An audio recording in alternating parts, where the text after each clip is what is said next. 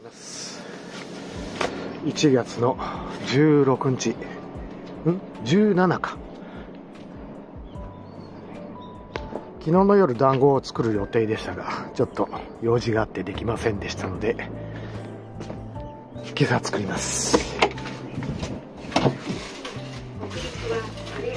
作っとるかね？今日は米粉と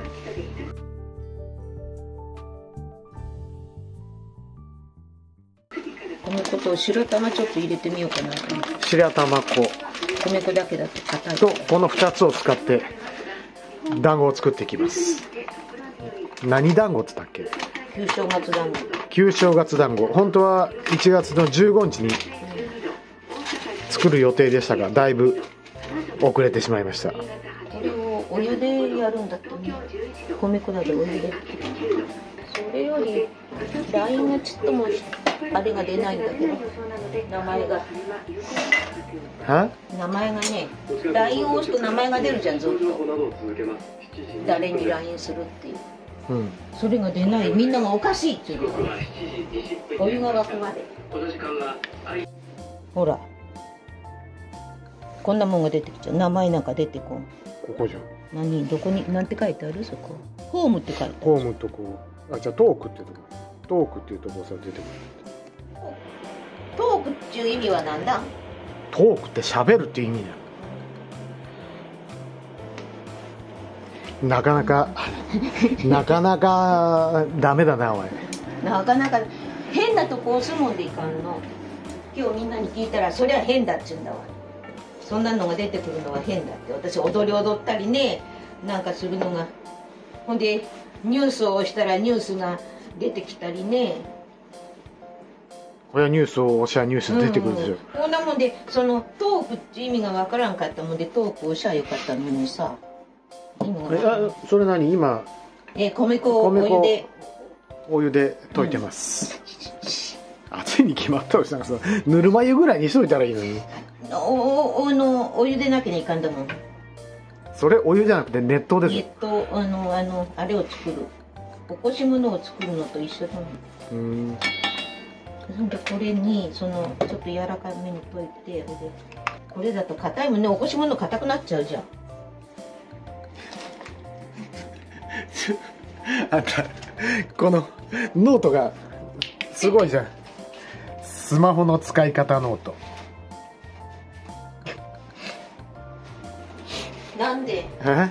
なんで変か変っていうかちょっと笑えるだけで年寄りはそんなもんだよこのじゃあ年寄り用のこれスマホの使い方ノートだからさこれをうまいことあの本にしたらどう年寄りでも使える簡単スマホノートって。それお前簡単で買ってくれたんだろ？そうだよ、ね全然簡単じゃん全全然簡単じゃないって。これがもう最大級の簡単なんでしょ？もね結局米粉だけでやるの？う入れたじゃん。え？白玉入れたあ白玉入れたの？うんほらプツブツブがあるじゃん。この間山登った時着とったやつってあれ上上に着とったやつ自分で作ったやつ？どんなやつあチェック？うん、うん違うよ。あんな昔山始めてすぐ冬に買ったじゃん。1000円で。見た？自分の動画。どうやって見るの？え？どうやって見る？なんてスマホあるんだから見れるじゃんか。違うことこさんが「あの見たよ」って言ったけどほんだけどあんたの背中が映っとったりだもんで途中でやめたって言ったから、あもうやあの送ったんだなと思って今度上手にあれ初めてだでいかんけど今度は菜の花行くから上手に映してくるねって言っといた。なんか田舎のおばあさんがやっとったあののを思い出してさまずいかもしれん。どうなるかな？え？どうなるかな？何まずいか？うまいかまずいかあるの？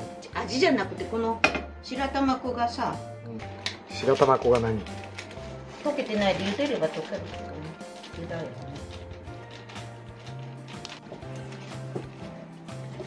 こうやってなんか中のおばあさん上手に作っとったね。こうやって。何何の形を作るの？里芋。をこうやってくっつけると 里芋の形にあくっつかんでこっちからこうやるんだね。我も作れって言ってさそうや粘土みたいな。ってうん粘土細工みたいなもん。それから栗の形。どうだったかな。ちょっと小さいね。ああなるほどね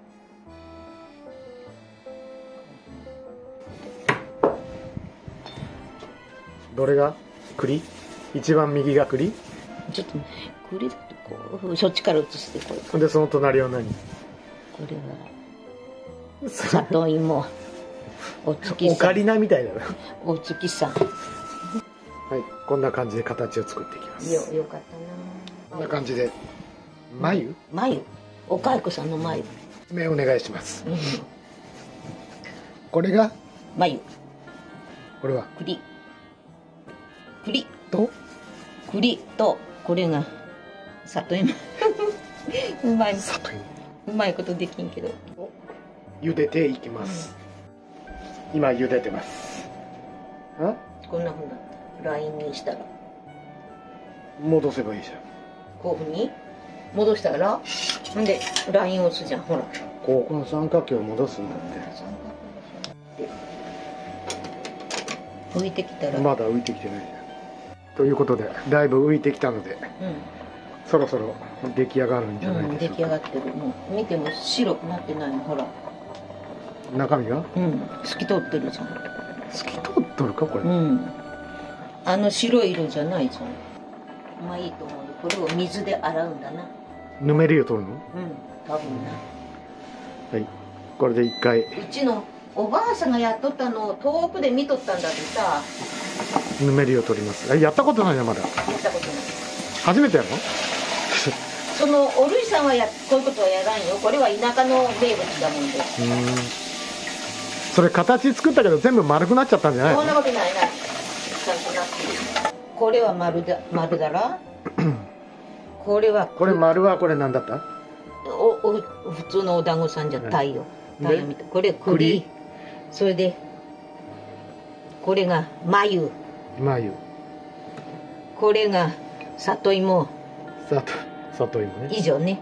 この4種類。4種類を作豊作を願ってってこと？そうそう豊作。うちの田舎は豊作を願って旧正月の1月15日にうん。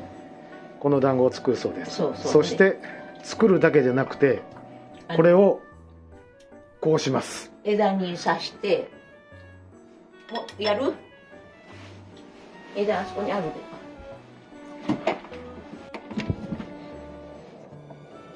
枝を取ってきた。枝を取ってきて。洗った？枝なんか洗わんでもいいんじゃない？ここにな。だって鳥が飛んできたりとかするんだよ。ほこりが。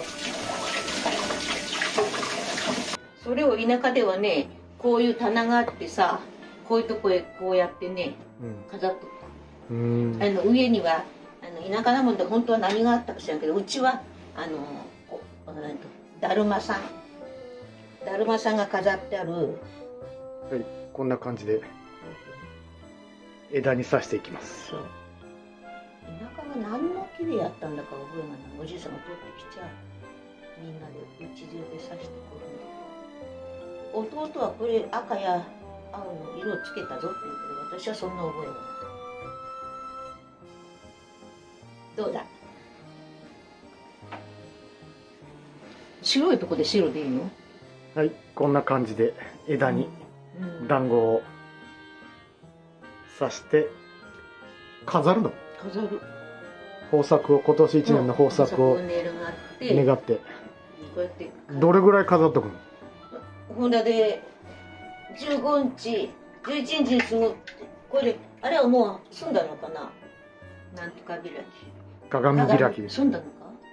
鏡開きって。じゃあこれね早く作っとって、うん。これで15日にどんど焼きがあるじゃん。どんど焼き。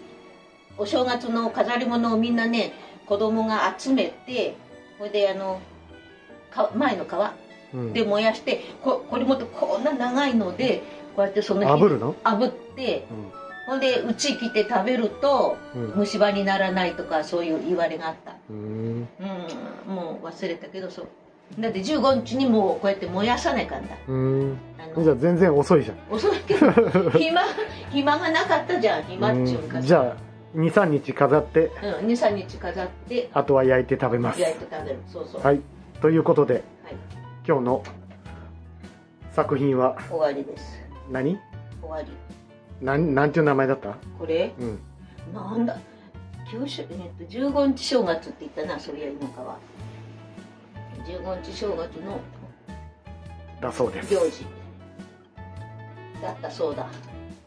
おこれちょうどいいやここで？ねまた考える